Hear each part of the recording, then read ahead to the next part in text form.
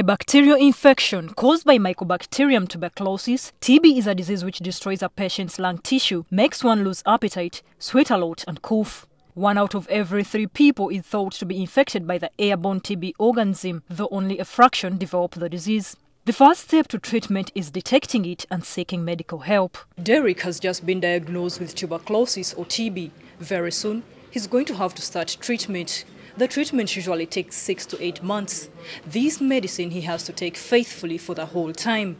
If at all he faults, he faces a greater challenge of developing multi-drug resistant TB, which the doctors say is the worst kind of TB. In short, I would say it's a man-made problem. It's inappropriate use of TB drugs. For each TB patient, the bacterial population in that individual are in groups.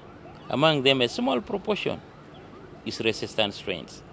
Now, if somebody doesn't use drugs in the right dosage, the right combinations, and takes them for appropriate duration, you are likely to select subpopulations, and the resistant strains become the dominant population in that individual. Then you find that individual is drug resistant TB. Resistant to two drugs in TB treatment, rifampicin and isoniazid. These are the king drugs in the treatment of TB. So if you resist those two, there is no need to change you to more toxic, more expensive, and more difficult to use drugs. Sometimes the individuals may not be at fault. When maybe uh, there is delivery disruption and patients are not accessing them. The multi-drug resistant TB risk groups include those diagnosed with TB like Derek or are suspected of having TB, or those who have been previously treated with TB, those exposed to non-drug resistant TB patients, TB HIV patients and health workers with TB. What is important is for the patient to be protected. I left most of it to God and we have been protected that way. Diagnosing MDR TB requires a rapid diagnostic laboratory which the Ministry of Health has set up at Mulago Hospital. Other districts to get laboratories are Mbale, Gulu, Arua and Mbarara. According to the surveillance system on ground, there are 237 MDR patients in the country. At Mukono Health Center 4, they have four patients with MDR TB, but these are waiting for the second line drugs which can cure the resistant TB. But these have not been in the country since 2008.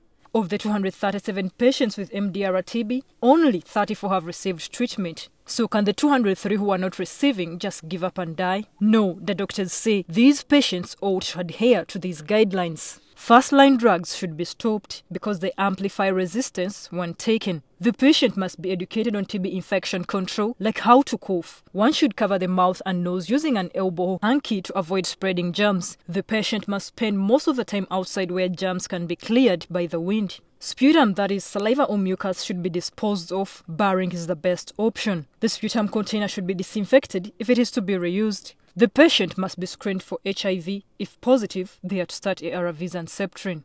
Nutrition is vital with a balanced diet.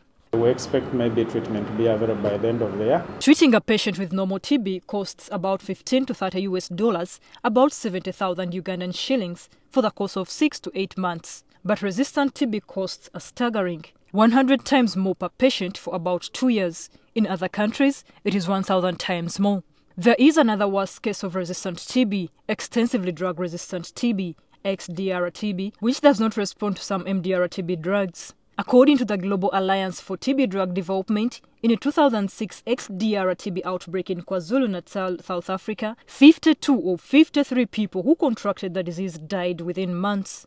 It is estimated that 7 out of every 10 XDR TB patients die within a month of diagnosis. Known cases of XDR TB in Uganda were two, and they died. The universal target set by the World Health Assembly by 2015 is to treat 80% of MDR TB patients. Government should be committed, health workers should be committed, the community should be committed. But our effort is to detect as much as possible because this has an infection control element. If you manage to put all TB patients in one basket, treated them at a go, then you've virtually achieved total control. But even as the community does the monitoring, there will be no help for MDR-TB patients as long as new, simple and affordable drugs are not available. Adherence to guidelines of non-treatment care will only accord MDR-TB patients a year or at most two of living and for XDR-TB patients a month. Florence Nalimba, NTV.